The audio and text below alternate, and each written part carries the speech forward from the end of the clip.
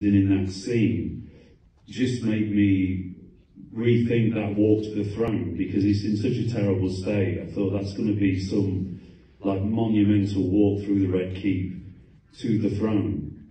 Um, so when I came to shoot that walk in, I just thought, right, I'm gonna, I'm gonna really take my time, and I'm gonna really struggle and make these people wait.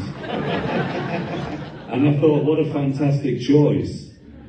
But it took about 10 minutes to get down. And then after a hundred takes from so many different angles, I managed to put my hip out, break three walking sticks and, uh, you know, nearly put myself in hospital. But it was, it, it was impactful, you know, and I, I think as a cast as well by that point, we were so far down the road with it and we, we were su- such a sort of unit together that we were all so in tune with it all, so uh, it, it, it, all worked out. But the crown moment was a was an accident. Um, I was climbing up the steps, and the crown just fell off, and Matt picked it up and put it on my head, and um, it was just such a fantastic moment. You know, when I sat on the throne and Matt put it on the head, that we went to Geeta, who directed that ep, and just said, listen, we've got to keep that in, that's got to be a part of it. So I made sure that it fell off every take.